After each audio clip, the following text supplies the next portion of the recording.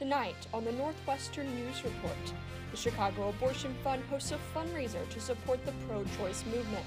What this event means for activists in Illinois. And the Cats are celebrating the Year of the Rabbit, how Northwestern students are ringing in the Lunar New Year.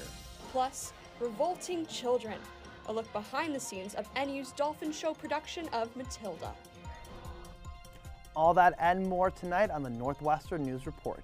It's your news right, Right now. now.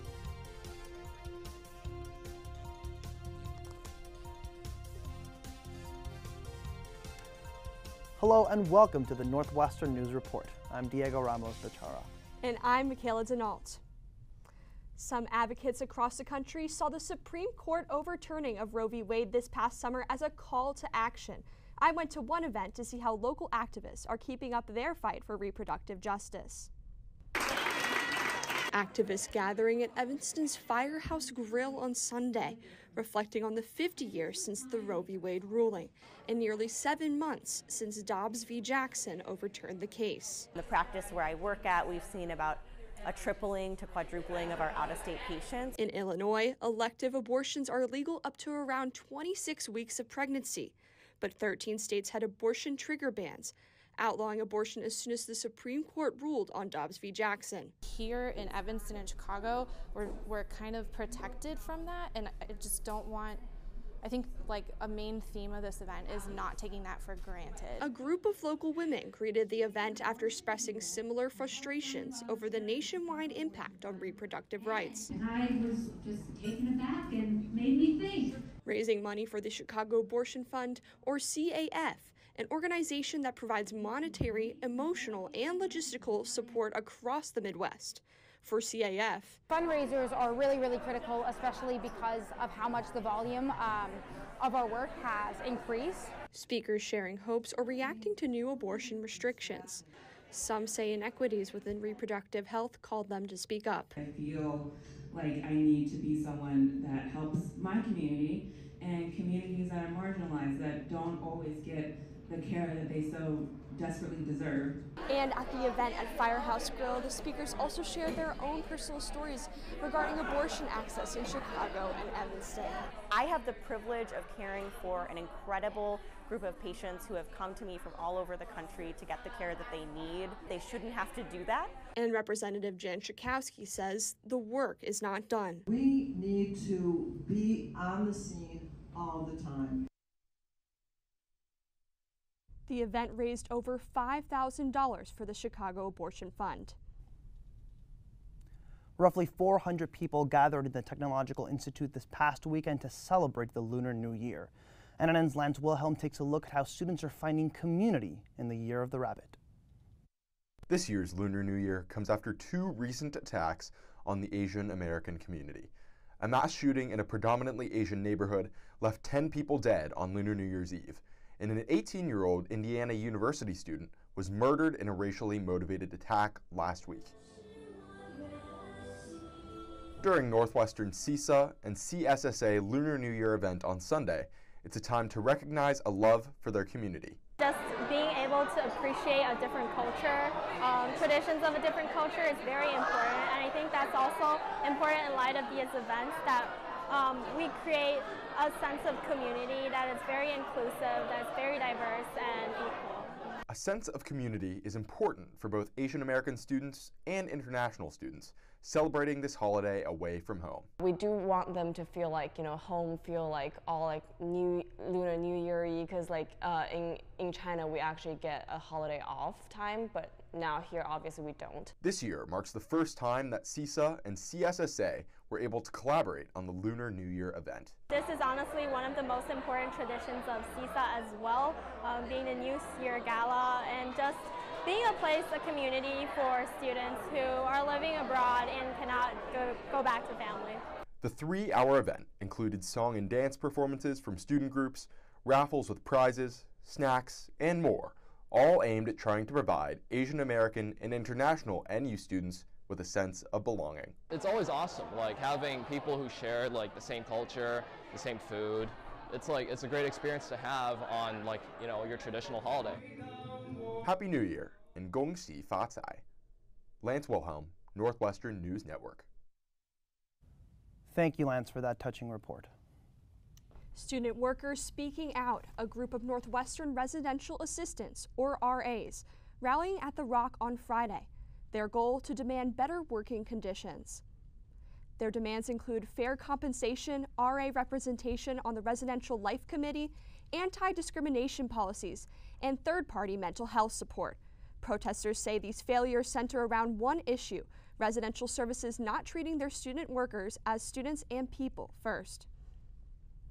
So I think it's well past due that we are given our fair treatment um, and are able to um, work together to achieve those things. So, yeah. In a statement to NNN, University spokesperson John Yates says Northwestern offers a wide range of training and support for RAs, and they consistently look for student feedback. And some good news for all you Wildcats fans. The Wildcats men's basketball team beat the Wisconsin Badgers yesterday 66 to 63 after two games were postponed because of players testing positive for COVID-19. Now, in an email sent to NNN Northwestern's Vice President of Operations, Luke Figora said, quote, we continue to see relatively few students test positive due to COVID symptoms or report positive test results to us, and that he does not expect to see any updates to COVID policies this quarter. Figora also told NNN that varsity athletes are subject to the same testing policies as all students and that there are no additional requirements. Coming up, Northwestern's color may be purple, but one professor is looking to go green. What a new chemistry project might mean for the environment. And baking for better, how one group of students is baking bread for charity. At Northwestern, we're wildcats in every way.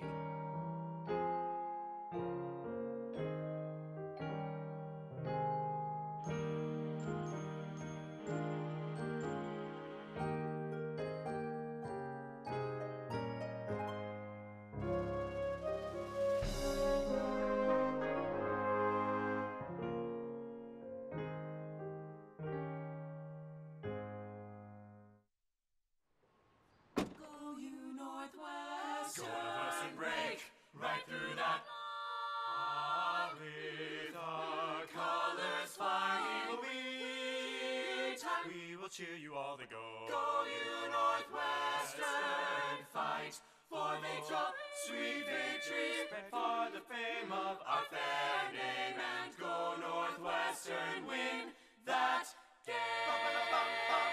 Go Cats! At Northwestern University, we are pioneering innovation and achieving excellence across every imaginable discipline.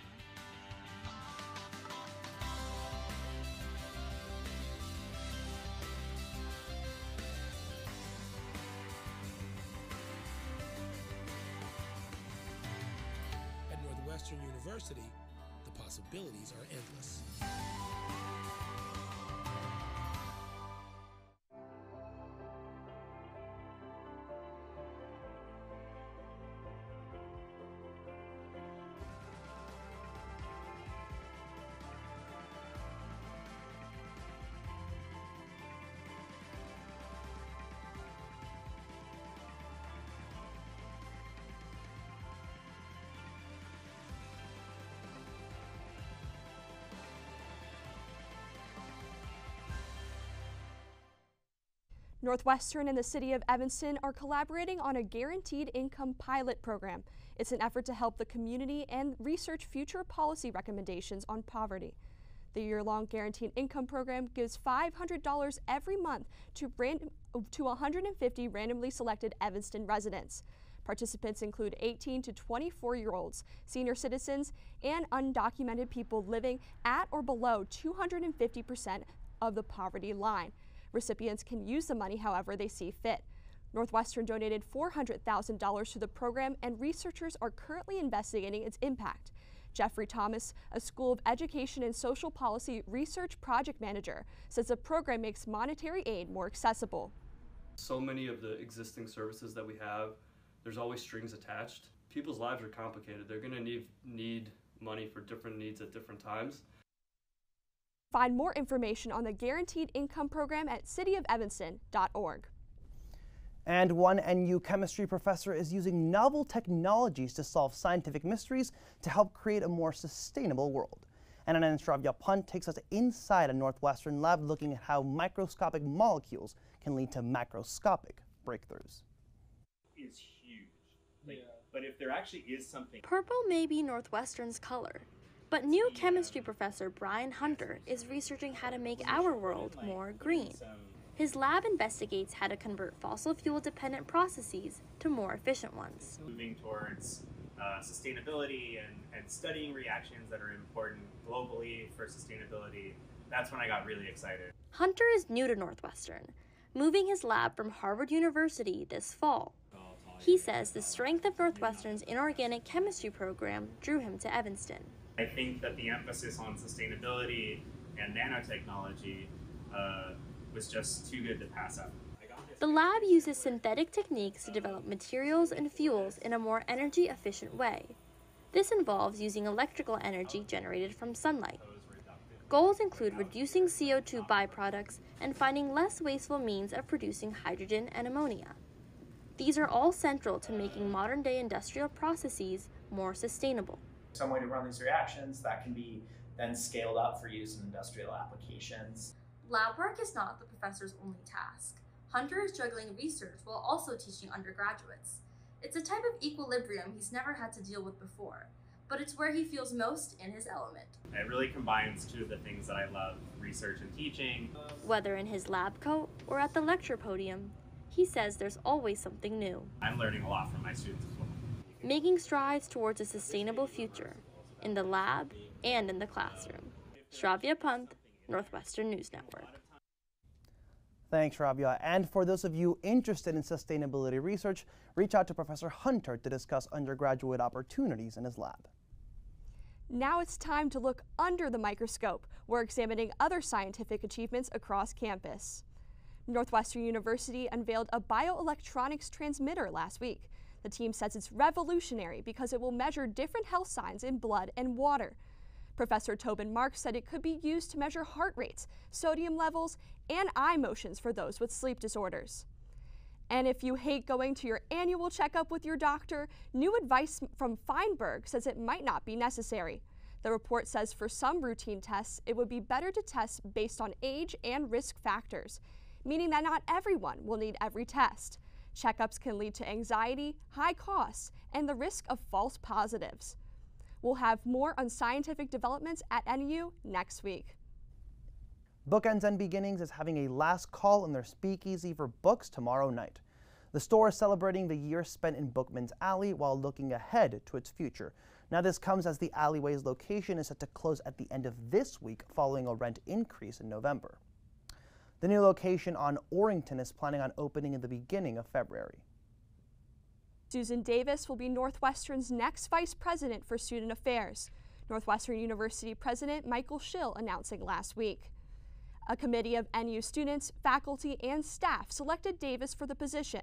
She is currently the senior vice president for student affairs at the University of Virginia. An interim vice president has held the role since August 1st when Julie Payne Kirchmeier left the position. Back again for winter quarter, one Northwestern student organization is baking up bread for a good cause. NNN's Alexia Cadota Browner takes us inside the kitchen with Challah for Hunger. Raising awareness of and money for hunger and disaster relief, students gather weekly for Northwestern Hillel's Challah for Hunger. Challah for Hunger is a nonprofit club at Northwestern. Uh, our mission has to do with giving back money to different organizations that help fight food insecurity. Baking challah and selling it to the Northwestern community, 50% of each bake's profits are donated to the National Challah for Hunger cause, Swipe Out Hunger. The remaining 50% goes to the ARK, a nonprofit social service organization supporting Jews in the Chicagoland area. It is really nice to be both doing something fun and that um, connects to a lot of people's identity, but also is helping a large range of people that exist far beyond uh, the Northwestern community. The bake takes place on Thursdays, so the challahs are ready and fresh for Shabbat, which begins on Friday nights. It's really fun to just come and like knead the dough. It's very therapeutic and it reminds me of baking with my mom at home every week. The bakes always have a supervisor present to ensure the food is kosher.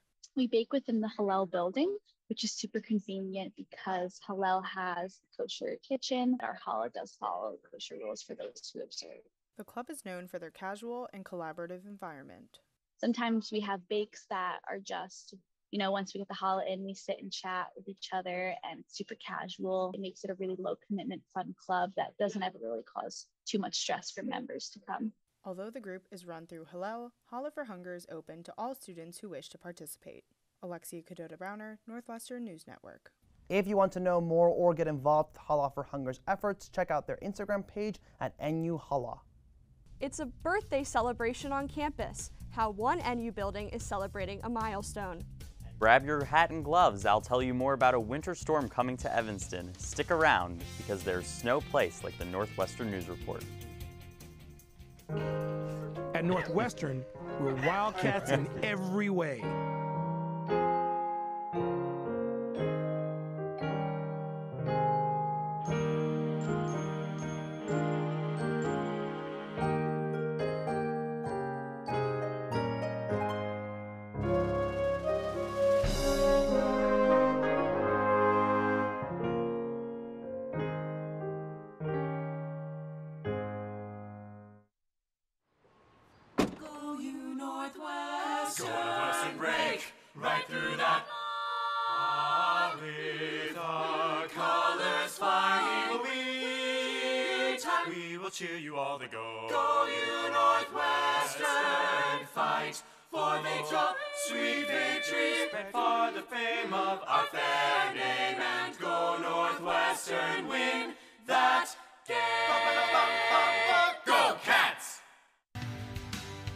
Northwestern University, we are pioneering innovation and achieving excellence across every imaginable discipline.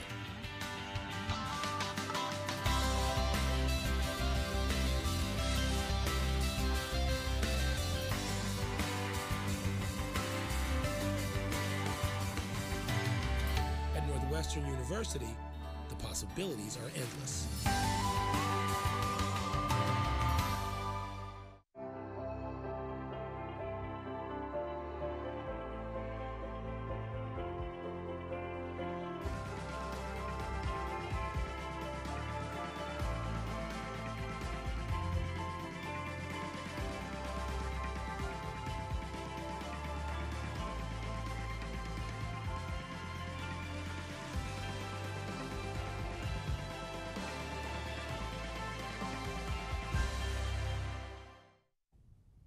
It was time to celebrate good times in Norris last Thursday in honor of the building's 50th birthday. Anna and Sabrina Carson invites us to the party. Staff arranging three Norris themed cakes, a performance from the Undertones, and speeches from NU administrators.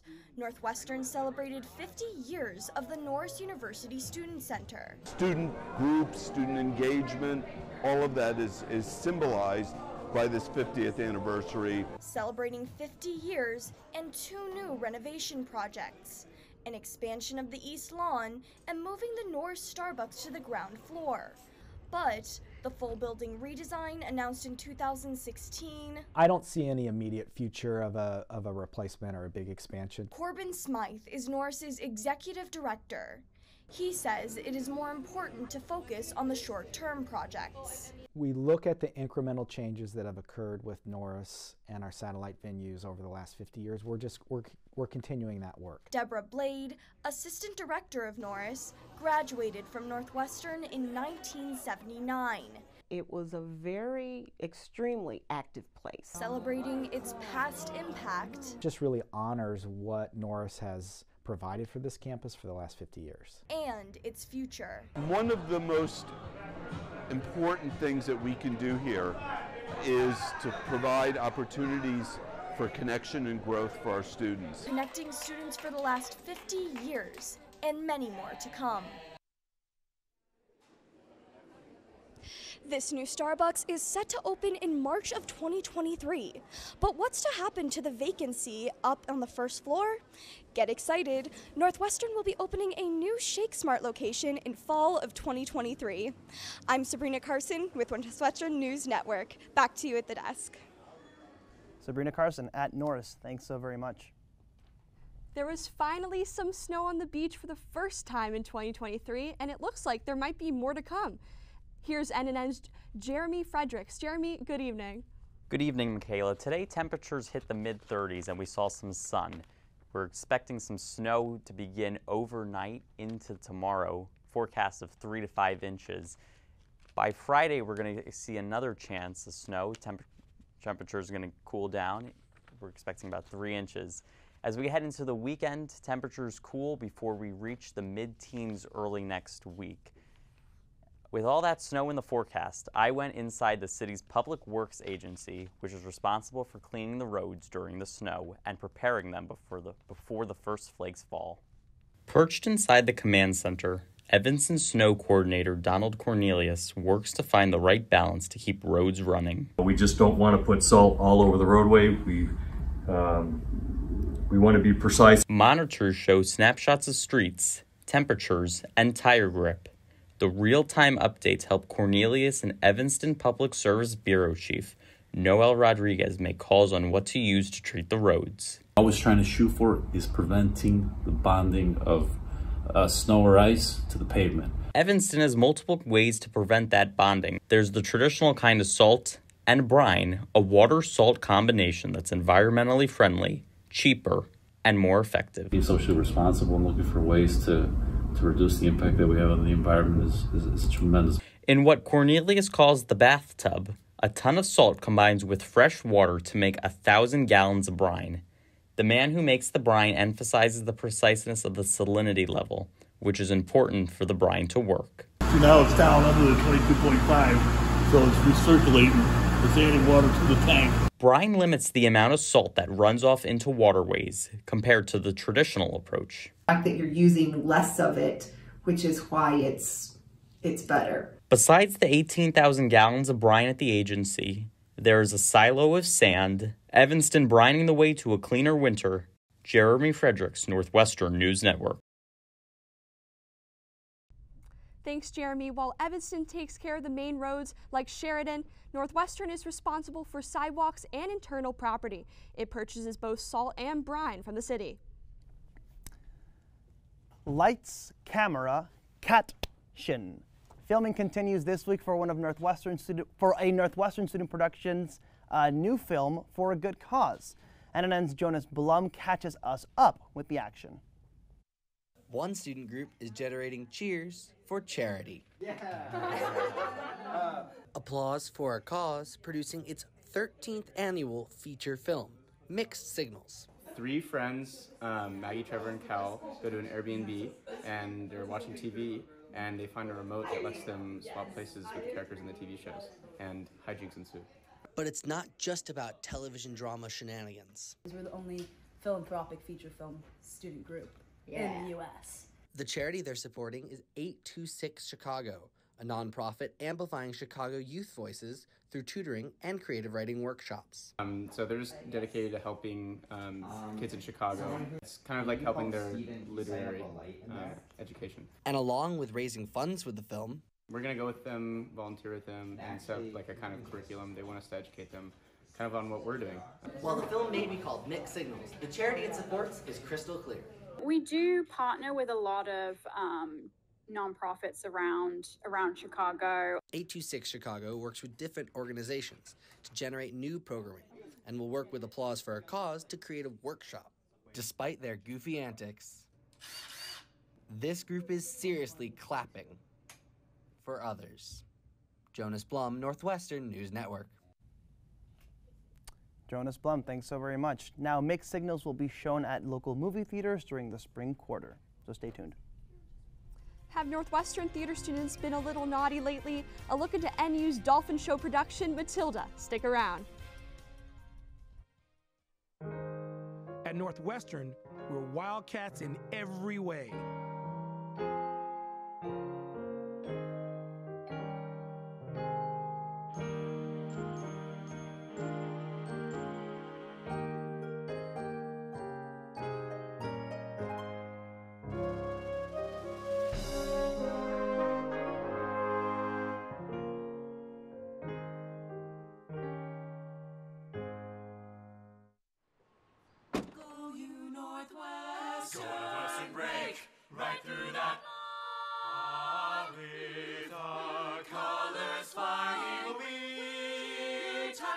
Cheer you all the go. Go you Northwestern, fight for victory, sweet victory, spread for the fame of our fair name, and go Northwestern, win that game. Go Cats! Northwestern's annual Dolphin Show is the largest student-produced musical in the country. Lena Peterson, di- Lena Peterson dives into this year's production of Matilda, the musical. Bringing a story of imagination and rebellion to life on stage, performances continuing this week for the Dolphin Show's production of Matilda. A beloved children's story, but the message is true even when you grow up. That we all are like little kids and we can all have fun and and that you know people who are different um, they shouldn't be excluded from anything. The honey sweet themes resonating with the college student team. But we as college students are going through the exact same struggles of wanting to be heard, wanting to be seen, and wanting to be an important part of, of the world we live in. For Kristen Wagner, choreographing the show meant finding creative ways for actors to bring themes of joy and community to life. Choreography um, I wanted to allow people to go back to that time and to find like freedom in movement and joy. The team's collaboration on and off stage, almost like a miracle. You have like a community coming together, whether that's on stage or off stage, like in the back and like the business and artistic teams. Um, I think Dolphin also tries to create that same sense of community. And for the audience, a night of theater and joy. The set is tremendous. The lights will blow you away, and the music will ring true to so many of the childhood memories that you have. And Lena joins us in the studio now with Matilda herself, Morgan Barber. Lena? Thanks, Diego. And Morgan, thank you so much for joining us in the studio tonight. So, how were the opening weekend performances of Matilda? They were so great. Um, we had a 7.30 show on Friday, a 7.30 show on Saturday, and then a matinee at 2 p.m. on Sunday that was like geared towards the younger audience members, and it was super fun, and it went really well. I'm so glad to hear that. So why do you believe should Northwestern students and also Evanston community members come see the show this weekend? I think you should come see the show this weekend because, I mean, we're going to go out with a bang. We're going to put as much energy and um, fun into it as we possibly can because it's our last two times doing the show. Um, and it's a super fun show. It's about this strong little girl who just wants to enjoy her life as a child. And I think everyone could have fun, whether you're a kid or an adult or a teenager, seeing this show.